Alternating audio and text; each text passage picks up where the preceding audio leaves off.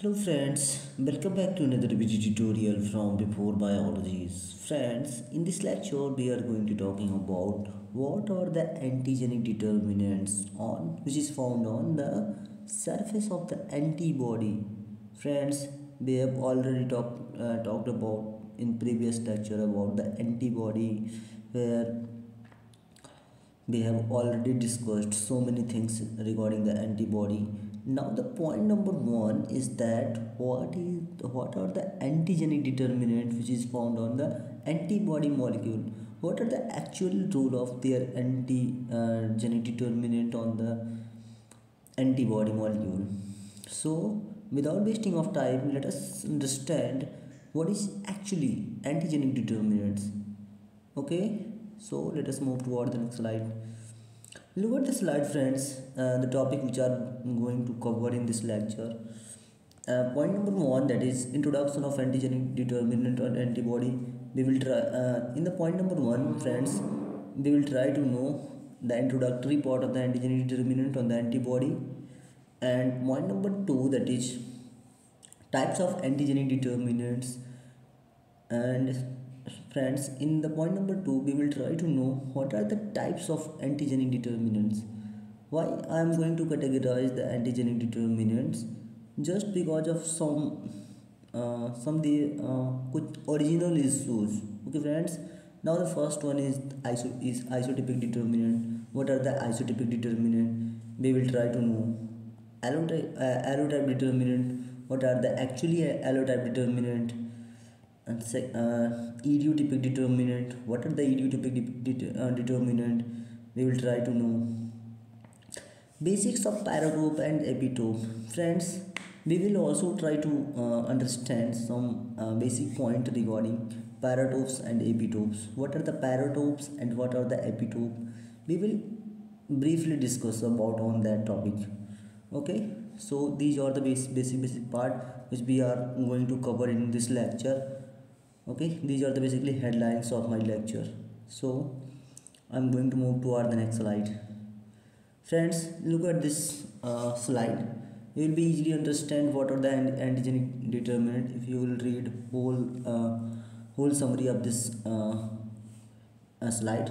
So let us understand. Since antibody are the glycoprotein they can be themselves uh, function as a potent immunogen to induce immune response Friends, I have already told you that the antibodies are the glycoprotein. Why I am telling you that antibodies are the glycoprotein? Friends, if you break this word, then you will find that means glyco that is glucose and that is protein. There are two word combination. Glycoproteins is basically a combination of the two word that means glyco that means glucose and plus protein. So antibodies are formed by the two basic uh, uh, biomolecule which is glucose and protein. So they, they can be themselves function as a potent immunogens to induce immune response. Okay friends? Antigenic determinant on antibody are also known as paratope. Friends what i am telling to you in this like in this point so i am telling you antibody having a particular site which having a potential to join the antigenic molecule. So these are the sites which are present on the antibody is called as antigenic determinant because they are determine the structure of antigen and having a potential to bind on them. So this is the basic phenomena behind the antigenic determinant okay which is also known as paratope. Why I am telling you that paratope is known as antigenic determinant because it is present on the antibody molecule so देखिए friends look at this point uh, on the behalf of their location on the behalf of their location which is present on the antibody I am going to categorize on it in three major types first one is isotypic determinant second one is allotypic determinant and third one is idiotypic determinants. Okay?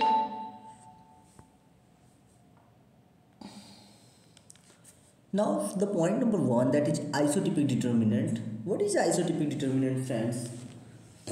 Isotypic determinants determ uh, determinant within the constant region of an antibody Friends, these are the basically a paratope which is present on the constant region of an antibody molecule is known as isotopic determinant. Point number second, all individual of species have the same isotopic determinant but the isotopic determinant between the different species is not same.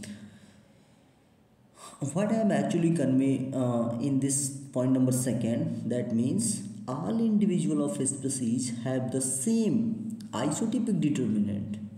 So and but uh, the isotopic determinant between the different species is not same. So it is very very simple to understand. Look at this point. What i am telling you is about isotopic determinant. Isotopic determinant means the paratope. Paratope means antigenic binding site. Antigenic binding site which is present on the antibody molecule on the constant region. Friends i have already told you that antibody molecule having basically two region.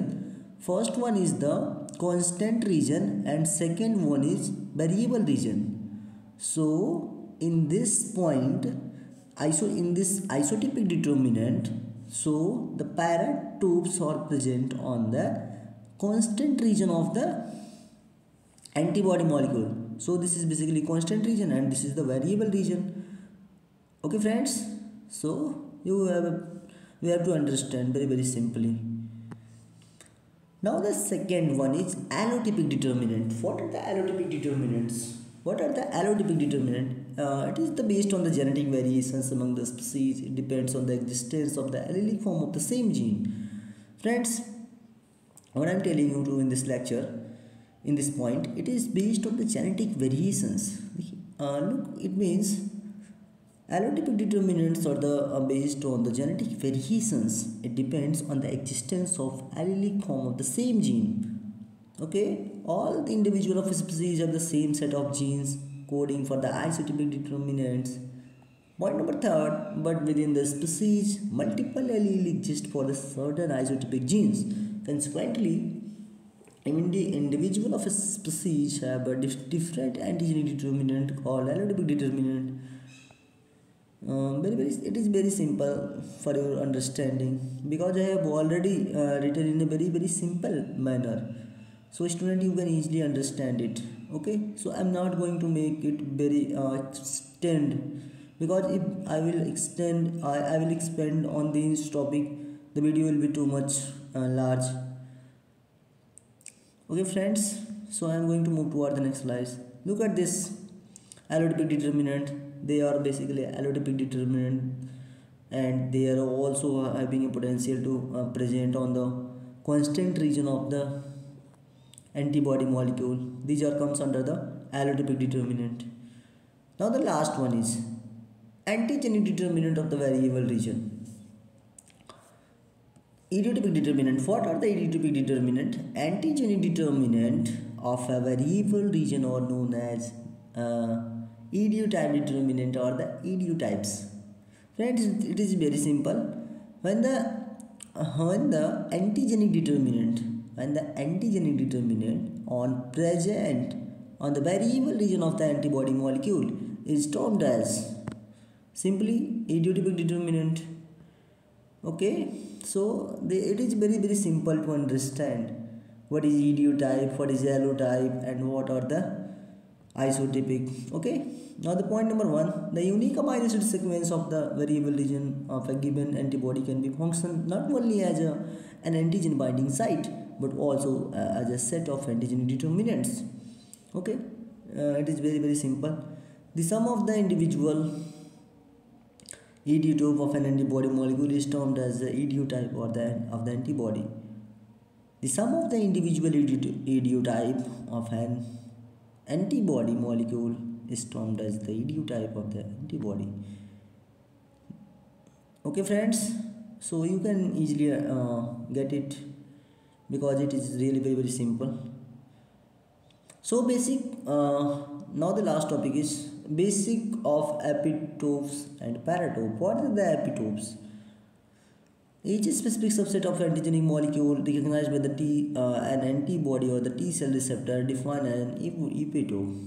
Epitope means the antibody determinants where antibody molecule are uh, having a potential to join join uh, the epitope uh, antigenic molecule is termed as epitope friends it is simply that a location where uh, a location uh, of an anti antigen molecule where our antibody molecule can be bind of that particular foreign substance is termed as epitope an epitope is also known as antigenic determinant. I have already told you that an epitope is also known as antigenic determinant. It is uh, it is the part of an antigen.